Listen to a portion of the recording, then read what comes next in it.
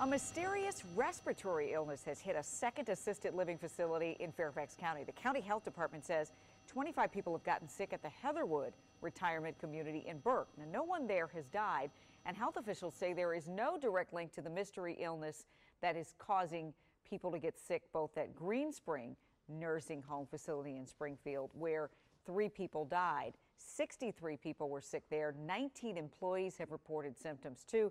The county health department says they haven't found the cause just yet, and the truth is they may never be able to do that.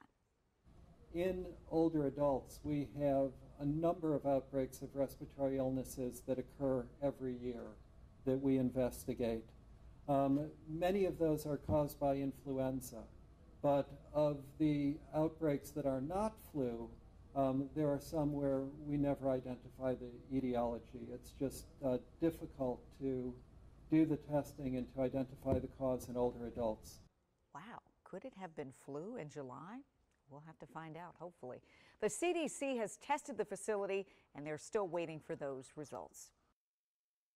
Health officials in two labs are trying to pinpoint what's causing the mystery illness that's spreading through a Fairfax County retirement community.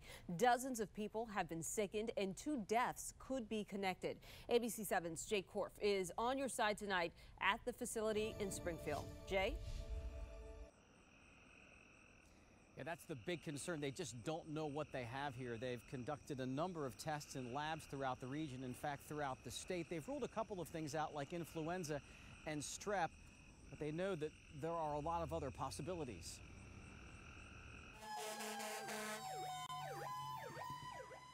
We don't know if the ambulance quickly leaving Green Spring Retirement Community in Springfield is for yet another elderly resident sickened by a disease outbreak that has hospitalized at least 18 residents. Two have died.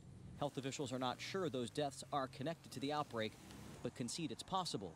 But what Fairfax County Director of Epidemiology Dr. Benjamin Schwartz is telling us is that while respiratory outbreaks are not uncommon in assisted living facilities, this one has his full attention. I think what stands out to me is the number of cases that have occurred in a fairly short period of time. Dr. Schwartz says the first case hit June 30th, with the bulk of illnesses coming over the weekend. Symptoms usually start off with just a cough, but others have come down with pneumonia. He says the facility informed the county Tuesday all cases from one building, Garden Ridge, where residents require more care. In this letter to residents, Green Spring officials said visitation to Garden Ridge has been suspended until further notice. We ask that no Garden Ridge residents, healthy or sick, leave their respective neighborhoods.